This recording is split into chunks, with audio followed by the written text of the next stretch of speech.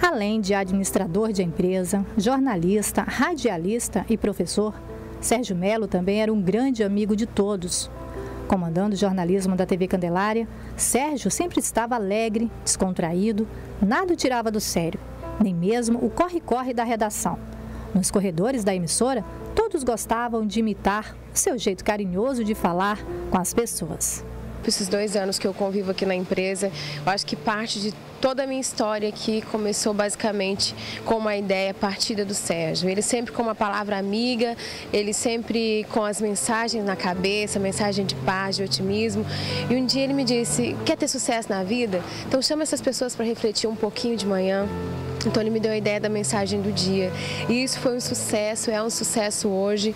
E quando eu recebi a notícia de que ele estava doente, imediatamente eu já fiz uma campanha de oração junto com as pessoas, porque eu acredito que toda a família dele precisava dessas orações e ele também. E nós esperamos pelo milagre até o último momento. Mas como Deus também quer as pessoas boas do lado dele, hoje, infelizmente, uma das vozes mais marcantes que eu já conheci em toda a minha história de rádio, acabou se calando, mas eu tenho certeza que essa voz dele vai ecoar por muitos e muitos anos mais, porque as pessoas que a gente ama, que a gente admira, não morrem jamais. Bom, Sérgio Melo, assim, para a gente em palavras não teria, teria como mensurar a importância que ele teve e tem, vai continuar tendo para cada um de nós aqui que dividimos o dia a dia, uma redação, um estúdio, enfim, um ser humano que é compreensível, uma pessoa admirada por todos e que deixa uma lacuna que eu tenho assim uma convicção muito grande que jamais será preenchida. É uma perda muito grande para o jornalismo e para todos nós que convivíamos com ele aqui no dia a dia. É um exemplo de humanidade e humildade, principalmente. Um professor, um dinossauro da comunicação. E ele nos deixa assim não há palavras para dizer o quanto a gente está triste, eu principalmente, que conheci ele há pouco tempo e tenho um sentimento muito grande por essa perca. E o rádio de Rondônia, a TV de Rondônia, perde hoje, nesse dia 27, uma das pessoas mais louváveis, louváveis deste mundo. É, o homem de um milhão de amigos. Que pena. É um momento difícil que a gente se encontra aqui, não só o grupo, do SIC, como também todas as pessoas de imprensa e sabe do que o Sérgio Melo representa para a história da imprensa do estado de Rondônia. Sérgio Melo, eu, já conheço, eu conheço ele há mais de 25 anos, né? Então, assim, tem toda uma convivência com ele. É, inclusive, foi ele quem me levou, é, ele que arrumou esse emprego para mim. Né? Uma pessoa super bacana, correto, uma pessoa super correta. Você não via Sérgio Melo triste pelos cantos, independente da situação. Era companheiro, amigo. Era nesse cantinho que o Sérgio Melo gostava de ficar. Aqui, ele delegava funções, marcava pautas, agendava entrevistas e, acima de tudo, recebia os amigos. A TV Candelária, para ele, era como se fosse sua própria casa.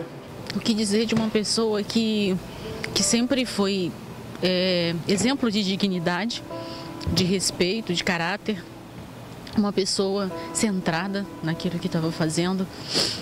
E todo dia chegar e abrir a porta da redação e ser recebido com um belo sorriso nos lábios dele, dizendo: Pensei que tu não vinha.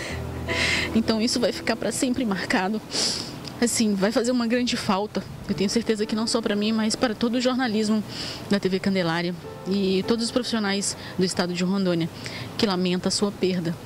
Muito triste mesmo, mas eu sei que ele está em um bom lugar. Será, gente? O Sérgio Mello era uma pessoa muito calma aqui dentro do jornalismo, sempre competente, correto com o trabalho dele e muitas vezes o mundo estava caindo e ele numa tranquilidade para fechar o jornal. Era uma pessoa excelente que a gente perdeu hoje.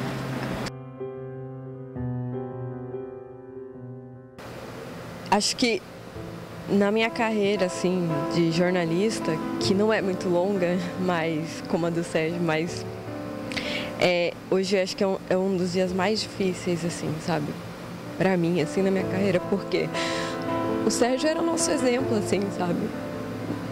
Na redação, não, tanto dentro da redação como fora da redação, porque era uma pessoa extremamente calma, sabe? Que dava aquele, aquela paz para nós, assim, sabe? É uma, é uma, ele transmite uma paz muito grande, transmitia, né? Porque parece que ele está ainda aqui. Trabalhar com o Sérgio foi maravilhoso, um aprendizado que vou levar para o resto da minha vida. Né? E como pessoa, o Sérgio Melo é, é um ser, era um ser maravilhoso, um homem íntegro, de bom caráter. É, chegar na redação e encontrar o Sérgio Melo era maravilhoso. É, Para quem está no meio do jornalismo, assim, pensa, é, tem aquela noção de que a redação é uma correria, uma grita-grita, uma confusão, mas o Sérgio era totalmente ao contrário. Calmo, paciente, dedicado. E era uma pessoa que sempre tinha uma palavra amiga para lidar, sempre tinha um sorriso no rosto. Por mais que a gente estivesse enfrentando qualquer dificuldade ou problema naquele dia, quando a gente chegava para conversar com o Sérgio, parece que você já se acalmava mais e você conseguia seguir seu trabalho no dia a dia. Então, assim, era um exemplo de pessoa para todos nós aqui. Além de companheiro de trabalho, o Sérgio Melo era assim um esteio dentro do jornalismo, né? Apesar do pouco tempo de convivência com ele, dois anos, eu acabei tendo uma ligação muito forte com, com o Sérgio. Eu discutia muito a questão de, é, da produtividade do jornalismo, do que a gente poderia estar fazendo no dia a dia.